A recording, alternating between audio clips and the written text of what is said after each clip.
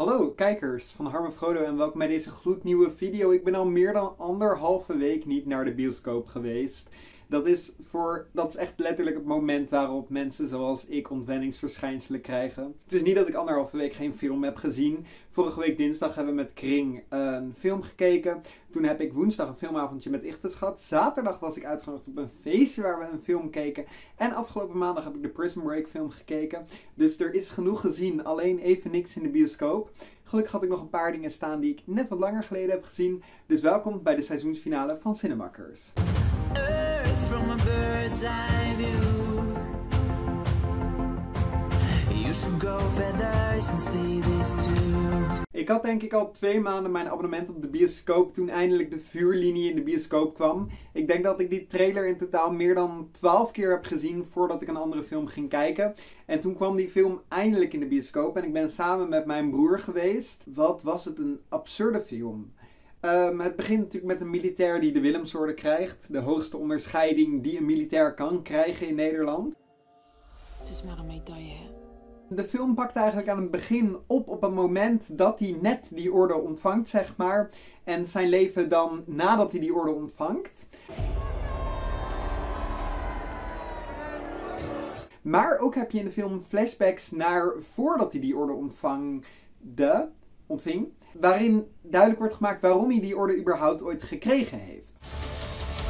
Daardoor lopen er in de film twee plots exact tegelijk. Dat is het plot van Nu het Heden. Wat gaat over een café waar Marco Kroon de eigenaar van is. Waarin drugs verhandeld zou worden en al dat soort dingen. Bij de criminele inlichtingeneenheid is betrouwbare informatie binnengekomen over drugs- en wapenhandel in uw café. En het plot van hoe heeft hij ooit die Willemsorde gekregen. En waarom, wat, wat voor dappers heeft hij gedaan om dat te verdienen. Verder zit ook iedere Nederlandse acteur zit in die film.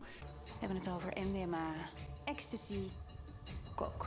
Ik ken van Flikken Maastricht, van Flikken Rotterdam, van oude dingen die ik als kind keek vroeger. Die flashbacks die je ziet van hem in de oorlogstijd vind ik de meest heftige dingen die ik in mijn leven heb gezien. Vorige week vertelde ik in mijn review over The Equalizer 3 eh, dat dat een film was waarbij ik bijna weg was gelopen uit de bioscoop omdat ik hem zo heftig vond. Maar ik had deze film toch wel echt de neiging om de bioscoop uit te gaan. Het was dat ik naar deze film was met iemand anders, maar ik was niet blijven zitten op het moment dat ik daar alleen heen was. Zo ontzettend heftig dat ik zou zeggen van, oh, kijk dit nou niet. Dus daarom komt hij wat lager in eigenlijk mijn ranking van films die ik de afgelopen tijd heb gezien. Omdat ik hem überhaupt zelf nooit opnieuw zou kijken. Elke maandag is het in Pathé Arthouse Maandag. Dan kan je een leuke arthouse film kijken. En dat zijn vaak films die gaan wat langzamer, maar die zijn ook wat minder heftig. Die, je, je hoeft ook niet voorkennis te hebben, je hoeft niet heel veel te begrijpen van zo'n film. Je ziet wel gewoon wat er gebeurt. En vaak is dat of heel leuk of niet zo leuk, of het zit er een soort van tussenin. Astolfo was best wel leuk. Ik heb nog even gezocht naar een trailer om te kijken van waar ging de film ook weer over. Astolfo, sei tu tutto bene? En toen kwam ik erachter dat de film alleen maar Spaanse trailers heeft. Wat betekent dat ik die film vermoedelijk in het Spaans heb gekeken met Engelse ondertiteling. En ik er niet achter ben gekomen dat er geen Nederlands werd gesproken in de film gedurende de hele film. Me lo dice così all'improvviso. Astolfo, Astolfo is geen film die iemand zou, zou hoeven zien, zeg maar.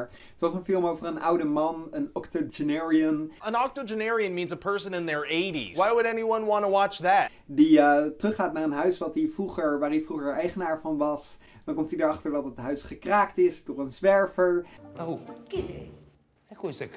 En een deel is gewoon gestolen door een katholieke kerk die ernaast zit. Questo, questo era il salone di casa mia.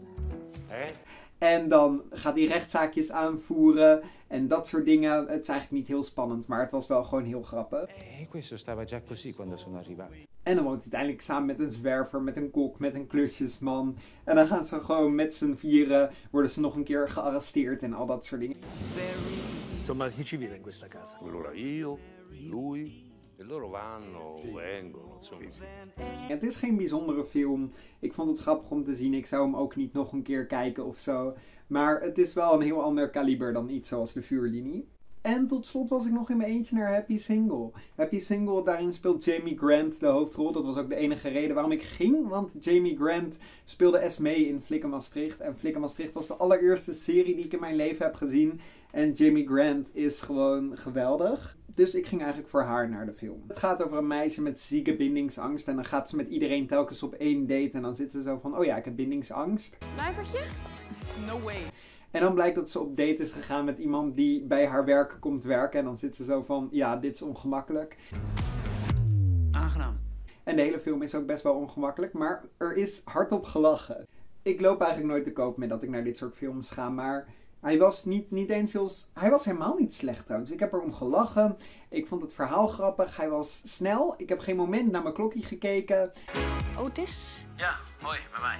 Ik eh, heb je nummer niet, dus moet maar even zo. Eh, ik zat daar lekker met mijn bakje popcorn in de bios op maandagavond. Ik ga er één keer tegenkomen is toeval. Twee keer is voorbestemd. Het was gewoon, het was gewoon super leuk. Ik voel me niet eens gejudged. Ik eh, moet voor twee weken naar Guadalajara. Ik heb heel erg genoten van de film, omdat het gewoon een film zat. Er zat een lekker tempo in, er zat goede humor in, een leuke Nederlandse cast.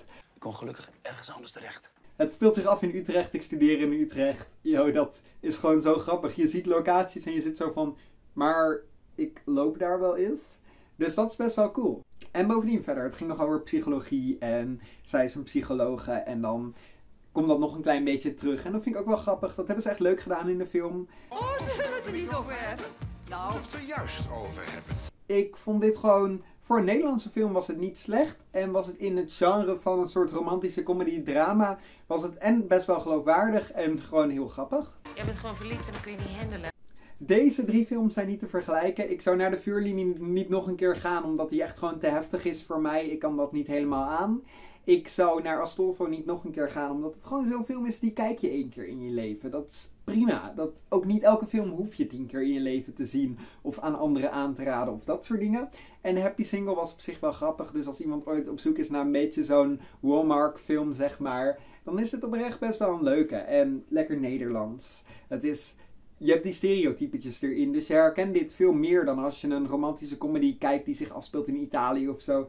Dit, dit is Nederland. En dan gaan we nu voor de laatste keer dit seizoen over op de top 10.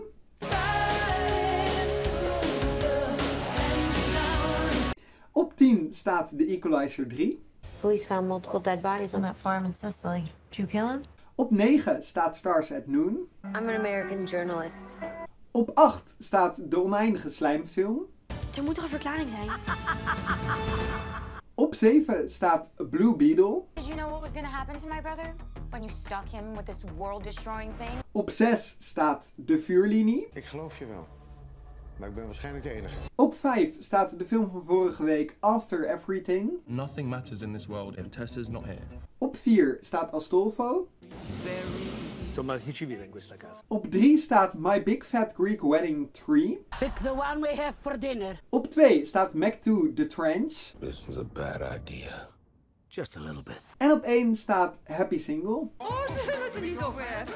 Nou, Of er juist over hebben. En ik heb jullie natuurlijk al een beetje geteased aan het begin van deze video. Dat ik ook afgelopen week wat films zelf thuis heb gekeken. Dus ik dacht, dan laat ik jullie daar van de top 10 ook nog even weten.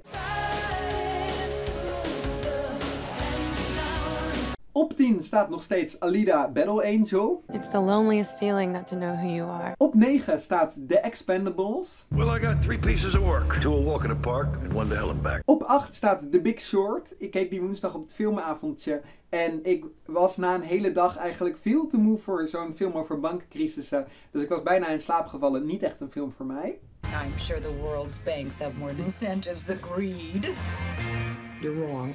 Op 7 staat Gifted met Chris Evans. Ik wou die film al heel lang zien, maar hij viel zo ontzettend tegen. Dat vond ik echt jammer. Die film had zoveel meer potentie dan dit. Ze hadden Chris Evans, ze hadden McKenna Grace en ze hebben er gewoon niks mee gedaan.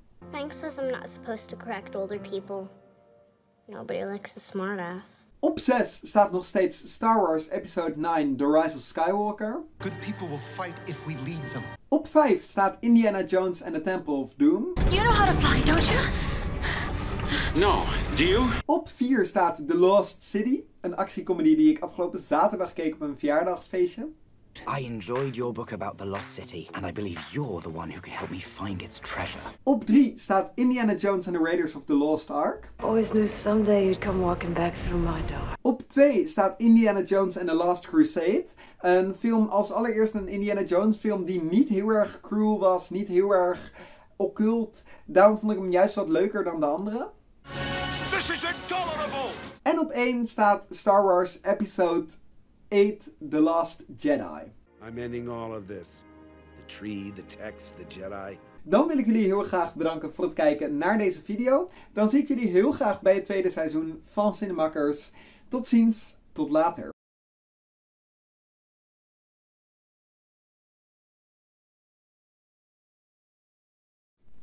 Het duurde ongeveer twee maanden had ik al mijn... Uh... Dit gaat goed, dit was niet wat ik wilde zeggen.